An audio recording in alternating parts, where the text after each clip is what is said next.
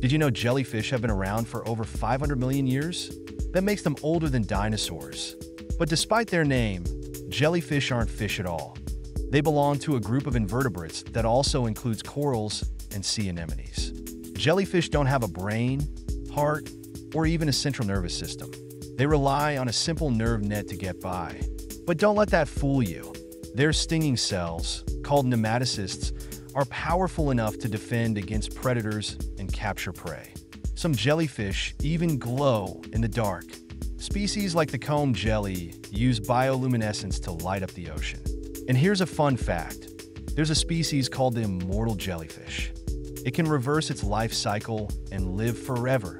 Talk about staying young.